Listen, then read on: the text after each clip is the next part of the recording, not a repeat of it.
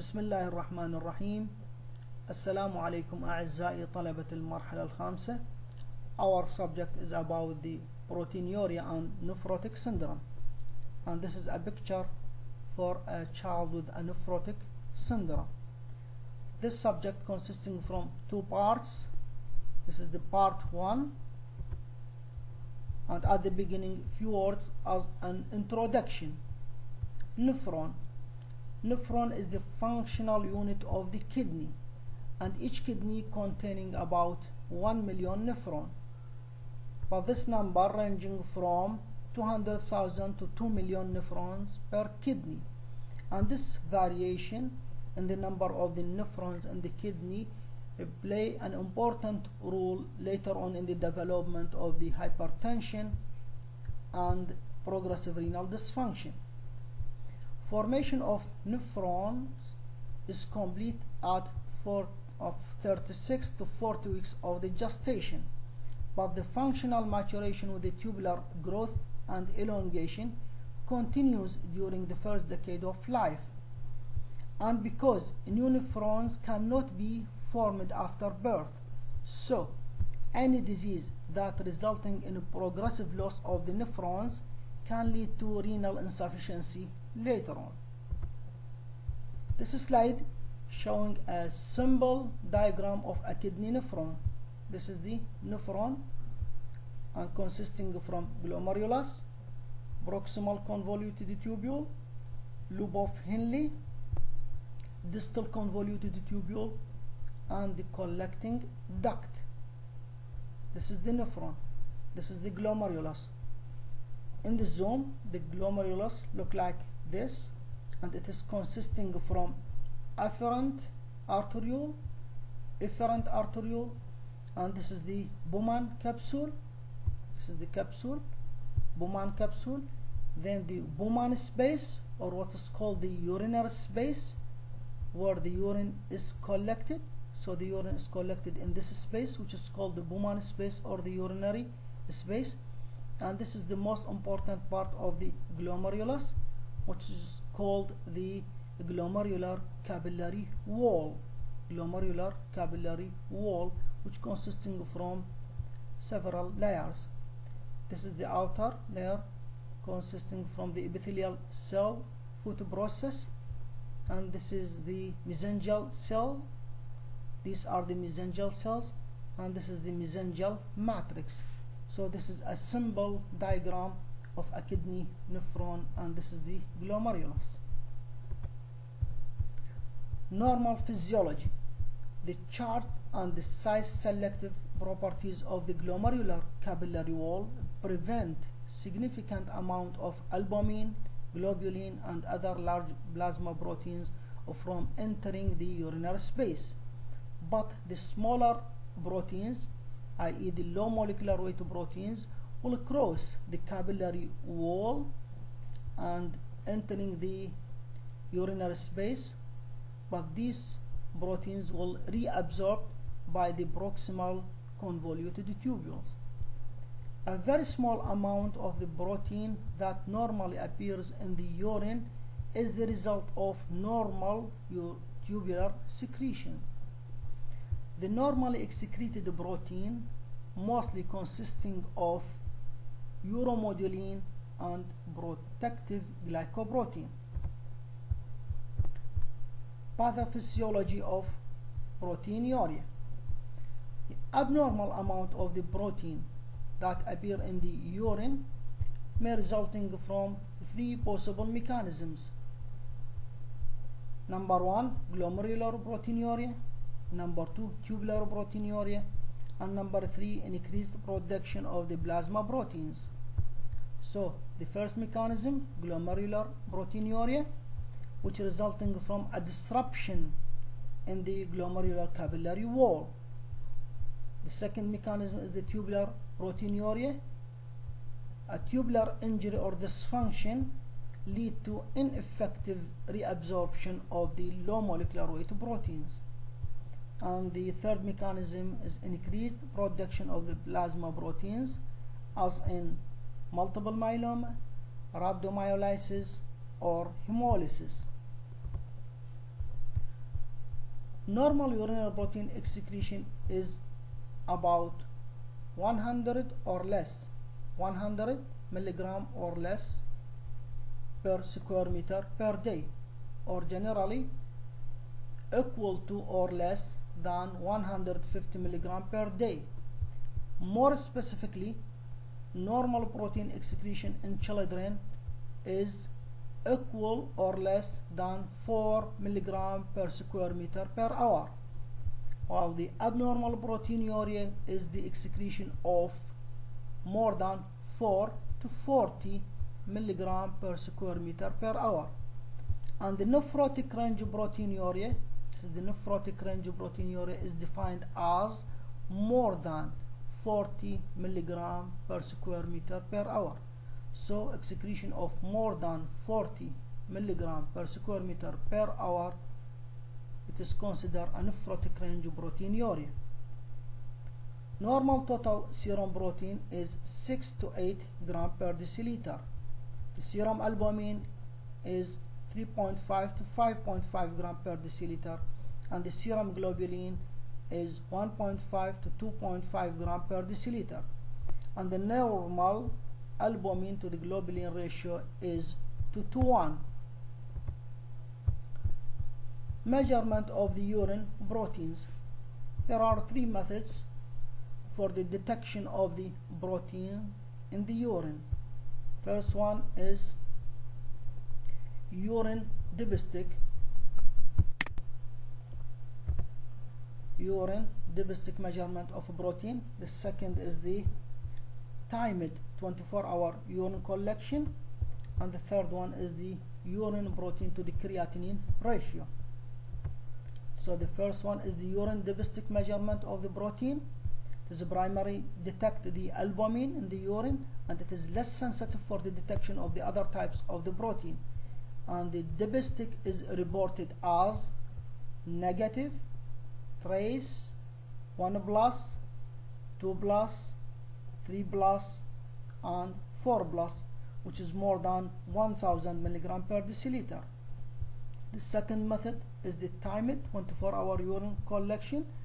It is more precise than the first one but it is but it is more costly and time consuming the third method for detection of the protein in the urine is the urine protein to the creatinine ratio, which is largely replaced the timed urine collection. It is calculated by dividing the urine protein concentration in milligram per deciliter by the urine creatinine concentration also in milligram per deciliter to provide a simple measure. It should be ideally performed on the first morning voided urine sample to eliminate the possibility of the orthostatic proteinuria. And a ratio of less than 0.5 in children less than 2 years of age and less than 0.2 in children more than 2 years of age suggest a normal urinary protein excretion while a ratio of greater than 2 suggests a nephrotic range proteinuria. So the most important method for the detection of the urinary protein is the urine protein to the creatinine ratio and a ratio greater than 2 suggests a nephrotic range proteinuria. What about the types of proteinuria or causes of proteinuria? Number one is the transient proteinuria. Transient proteinuria. It occurs in special situations like in fever, exercise, dehydration, cold exposure, congestive heart failure, seizure, and stress. Usually it does not exceed 1 or 2 plus on dipstick and no evaluation or therapy is required for children with this benign condition. So the transient proteinuria is a benign condition and it does not require evaluation or therapy. The second type of the proteinuria is the what is called orthostatic or postural proteinuria. It is the most common type of the persistent proteinuria. Persistent, persistent, not transient. This is a persistent proteinuria.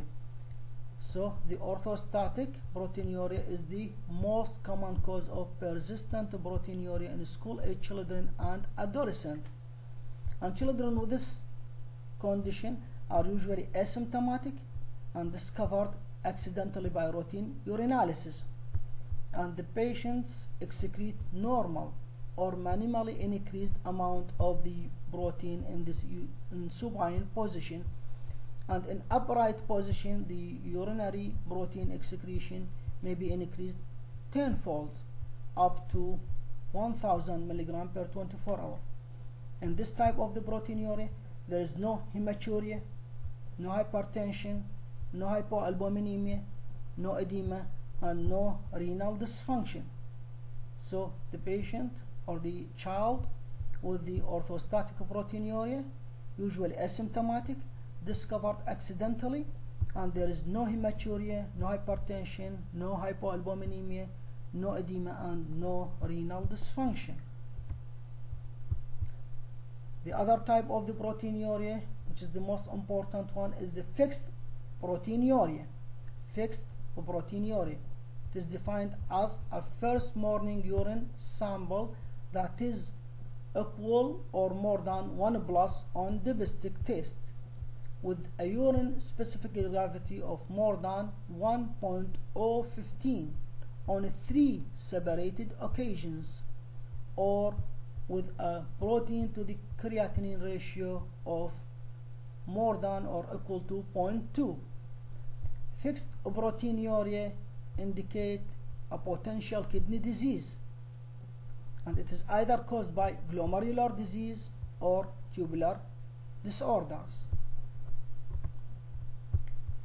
Glomerular disease it resulting from alteration in the permeability of any of the layers of the glomerular capillary wall to anormally filtered proteins and occurs in a variety of renal diseases such as in nephrotic syndrome.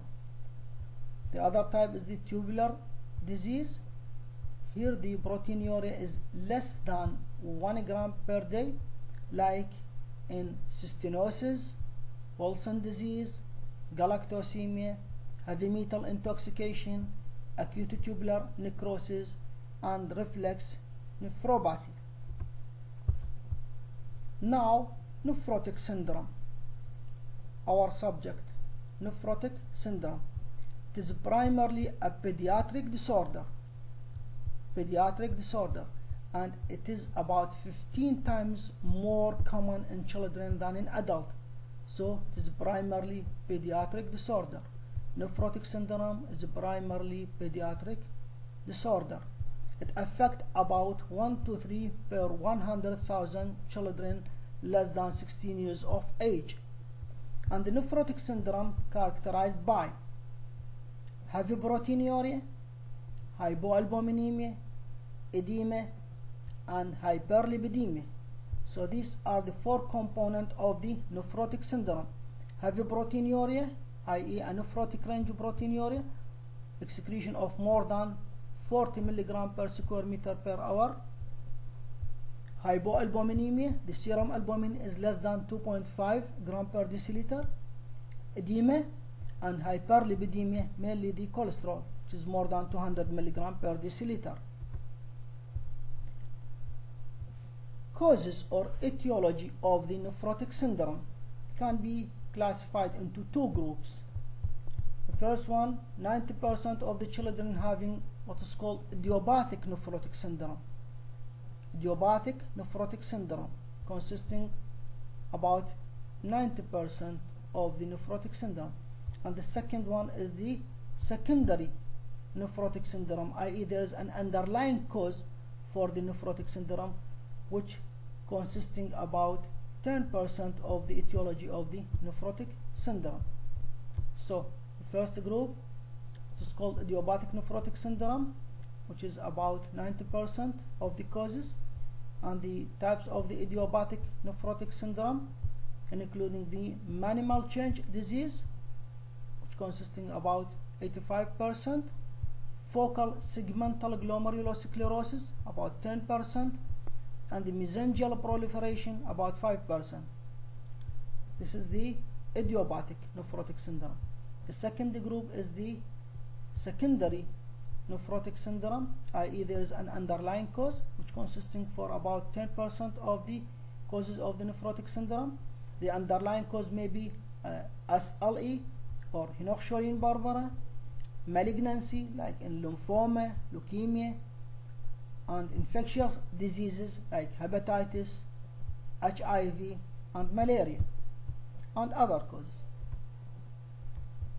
Pathophysiology In minimal change disease, the glomeruli appear normal or show minimal increase in the mesangial cells and matrix, while in electron microscope there is effacement of the epithelial cell foot processes. The underlying abnormality in nephrotic syndrome is an increase in the permeability of the glomerular capillary wall, which lead to massive proteinuria, then hypoalbuminemia. Massive proteinuria and hypoalbuminemia result in decreased plasma oncotic pressure. So there is a decrease in the plasma oncotic pressure in the intravascular space. And this will lead to shifting of the fluid from the intravascular space to the interstitial space with the formation of edema. Edema will appear when the serum albumin is less than 2.5 gram per deciliter. This will lead to decrease in the intravascular volume.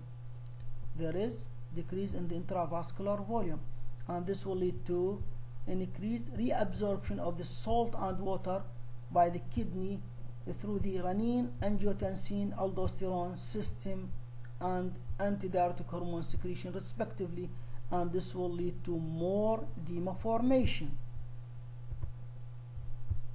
Hyperlipidemia. Serum lipids, mainly the cholesterol, also triglyceride, low density lipoprotein, very low density lipoprotein, all of these will be elevated due to two reasons. Number one, hypoalbuminemia stimulates generalized hepatic production of the hepatic protein synthesis, including the synthesis of the lipoproteins.